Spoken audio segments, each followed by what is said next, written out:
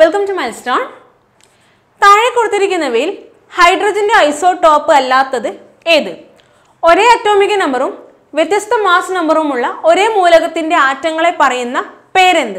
ഇങ്ങനെയുള്ള ക്വസ്റ്റ്യൻസ് ഒക്കെ P S C ഇതിനു മുന്നേ ചോദിച്ചിട്ടുള്ളതാണ്. അപ്പോൾ ഇത് പഠിക്കാനായിട്ട് നാല് കാര്യങ്ങളാണ് നമുക്ക് പഠിക്കാനുള്ളത്. ഐസോടോപ്പ് ഐസോബാർ ഐസോട്ടോൺ ഐസോമർ ഇവയൊക്കെ എന്താണ് ഇവയുടെ എക്സാമ്പിൾസ് ഏതൊക്കെയാണ് എന്നുള്ളത്. പി എസ് സി ഒരുപാട് തവണ റിപ്പീറ്റ് ചെയ്ത് ചോദിച്ചിരിക്കുന്ന കാര്യങ്ങളാണ് ഇതിൽ പലതും. അപ്പോൾ നമുക്ക് എന്തൊക്കെയാണെന്ന് ഷോർട്ടായിട്ട് പഠിക്കാം. ആദ്യം നമുക്ക് എന്താണ് ഐസോടോപ്പ് എന്ന് പഠിക്കാം. ഐസോ ടോപ്പ് ഒരേ അറ്റോമിക നമ്പറും അറ്റോമിക number same mass number different okay. ഒരേ അറ്റോമിക നമ്പറും വ്യത്യസ്ത മാസ് നമ്പറുമുള്ള ഒരേ മൂലകത്തിന്റെ ആറ്റങ്ങളെയാണ് നമ്മൾ ഐസോടോപ്പ് എന്ന് പറയുന്നത്. അറ്റോമിക number same mass number different അങ്ങനെ ഓർത്ത് വെച്ചാൽ മതി.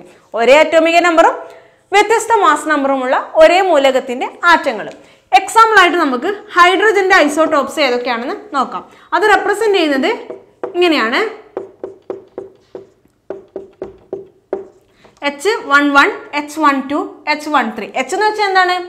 ഹൈഡ്രജൻ ആണ്. ഈ താഴെ എഴുതുന്നത് അറ്റോമിക നമ്പറും മുകളിൽ എഴുതുന്നത് മാസ് നമ്പറും ആണ്. ഓർത്ത് വെക്കുക. ഒരു മൂലകം തന്നിട്ട് അതിന്റെ താഴെ നമ്മൾ റെപ്രസെന്റ് ചെയ്യുന്നത് അറ്റോമിക നമ്പർ ആയിരിക്കും. മുകളിൽ റെപ്രസെന്റ് ചെയ്യുന്നത് എന്തായിരിക്കും? മാസ് നമ്പർ ആയിരിക്കും. ഓക്കെ ആണല്ലോ? അപ്പൊ ഇവിടെ നോക്കിയാൽ ഹൈഡ്രജന്റെ അറ്റോമിക നമ്പർ ഒക്കെ സെയിം ആണ്. വൺ വൺ വൺ ഓക്കെ ആണല്ലോ? മാസ് നമ്പറോ മുകളിൽ വരുന്ന എന്താണ്? മാസ് നമ്പർ അതാണ് ഡിഫറെന്റ് അപ്പൊ അറ്റോമിക നമ്പർ സെയിമും മാസ് നമ്പർ ഡിഫറെന്റും ആയാൽ അതിനെയാണ് നമ്മൾ എന്ത് പറയുന്നത്? ഐസോടോപ്പ് എന്ന് പറയുന്നത്. ഇനി ഈ ഹൈഡ്രജന്റെ ഐസോടോപ്സ് ഇമ്പോർട്ടന്റ് ആണ്. പി എസ് സി ചോദിച്ചിട്ടുള്ളതാണ്. അതിന്റെ പേര് കൂടെ ഓർത്തു വെക്കുക ഒറ്റ ഒരു മാസ് നമ്പർ ഒന്നുള്ളതാണ് പ്രോട്ടിയം രണ്ടാമത്തേത് ഡ്യൂട്ടീരിയം. മൂന്നാമത്തേത് ട്രീഷ്യം. Protium deuterium tritium. ഇതാണ് ഹൈഡ്രജന്റെ മൂന്ന് ഐസോടോപ്സ്. ഐസോടോപ്പ് എന്ന് വെച്ചാൽ എന്താണ്? അറ്റോമിക നമ്പർ സെയിം ആയിരിക്കും മാസ് നമ്പർ ഡിഫറെന്റ് ആയിരിക്കും. അപ്പോൾ അറ്റോ ഐസോടോപ്പ് ക്ലിയർ ആയല്ലോ? ഇനി നമുക്ക് എന്താണ് ഐസോബാർ എന്ന് നോക്കാം. ഐസോബാർ എന്ന് വെച്ചാൽ ഐസോബാർ നമ്മൾ നേരത്തെ പറഞ്ഞ എന്താണ്? Atomic number same mass number different അതിന്റെ നേരെ ഓപ്പോസിറ്റ് ആയാലും എന്തായി? ഐസോബാർ ആയി. അതായത് mass number same atomic number എന്താണ്?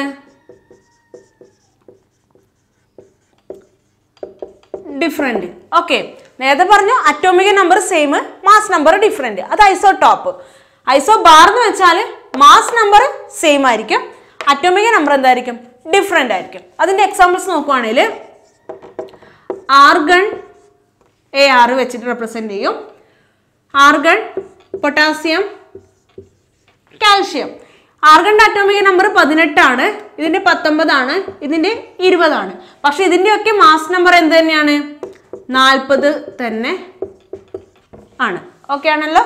മാസ് നമ്പർ നാൽപ്പതാണ് അറ്റോമിക നമ്പർ പതിനെട്ട് പത്തൊമ്പത് ഇരുപത്. അപ്പോൾ മാസ് നമ്പർ സെയിം ആണ്. അറ്റോമിക നമ്പർ എന്താണ്? ഡിഫറെന്റ് ആണ്. അങ്ങനെയാണെങ്കിൽ അതിനെയാണ് നമ്മൾ എന്ത് പറയുന്നത് ഐസോ ബാർ എന്ന് പറയുന്നത്.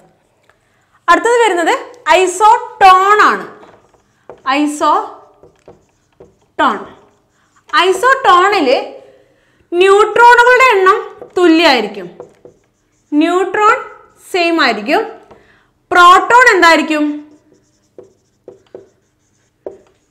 ഡിഫറെന്റ് ആയിരിക്കും. ഓക്കെ തുല്യ എണ്ണം ന്യൂട്രോണും വ്യത്യസ്ത എണ്ണം പ്രോട്ടോണും ആണെങ്കിൽ അതിനെയാണ് നമ്മൾ എന്ത് പറയുന്നത് ഐസോട്ടോൺ എന്ന് പറയുന്നത്. എക്സാമ്പിൾ ഹൈഡ്രജനും ഹീലിയവും എടുക്കുന്ന വെച്ചോ. ഹൈഡ്രജൻ അറ്റോമിക് നമ്പർ എത്രയാണ്? ഒന്ന്. ഹീലിയത്തിന്റെ രണ്ട്. ഇതിന്റെ മാസ് നമ്പർ മൂന്നാണ്. ഇതിന്റെ മാസ് നമ്പർ നാലാണ്. മാസ് നമ്പർ എന്ന് വെച്ചാൽ എന്താണ്?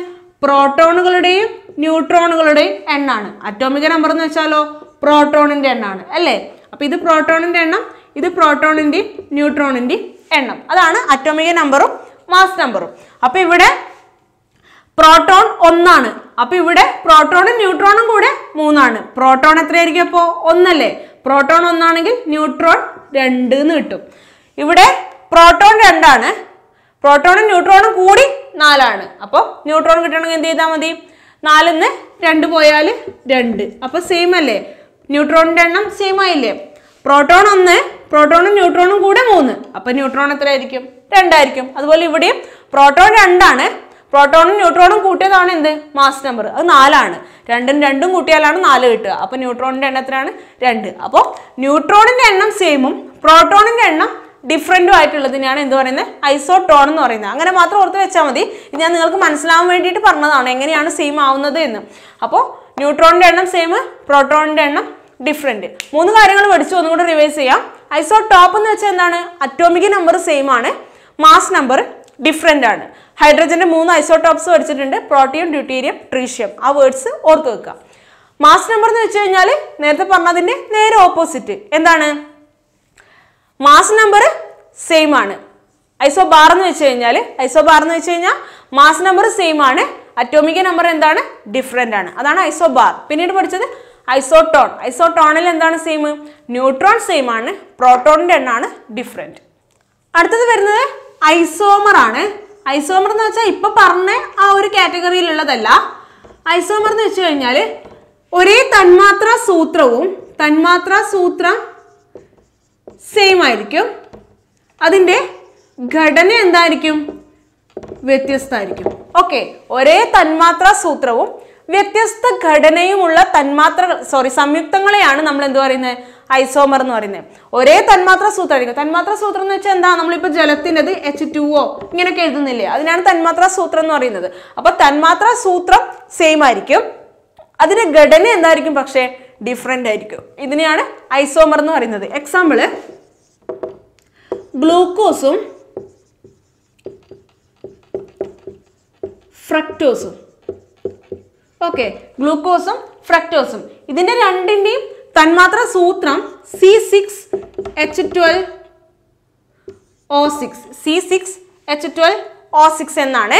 പക്ഷെ ഇതിന്റെ ഘടന എന്താണ്? ഒരേ രീതിയിലായിരിക്കില്ല ഇതൊക്കെ അറേഞ്ച് ചെയ്തിട്ടുണ്ടാവുക. ഘടന വ്യത്യസ്തമായിരിക്കും. തന്മാത്ര സൂത്രം സെയിം ആയിരിക്കും. ഘടന വ്യത്യസ്തമായിരിക്കും. ഇങ്ങനെയുള്ളതിനാണ് നമ്മൾ എന്ത് പറയുന്നത്? ഐസോമർ എന്ന് പറയുന്നത്.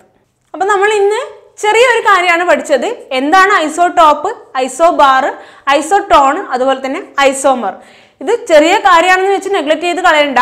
പി എസ് സി ഇതിനു മുന്നേ ചോദിച്ചിട്ടുള്ള പോയിന്റ്സ് തന്നെയാണ് പറഞ്ഞിട്ടുള്ളത്. അപ്പോൾ ജസ്റ്റ് ഒന്ന് നോട്ട് ചെയ്ത് വെക്കാം. അപ്പോൾ ഇന്നത്തെ വീഡിയോ എല്ലാവർക്കും ഇഷ്ടമായെന്ന് വിചാരിക്കുന്നു. വീഡിയോ ഇഷ്ടമായെങ്കിൽ ലൈക്ക് ചെയ്യുക ഷെയർ ചെയ്യുക.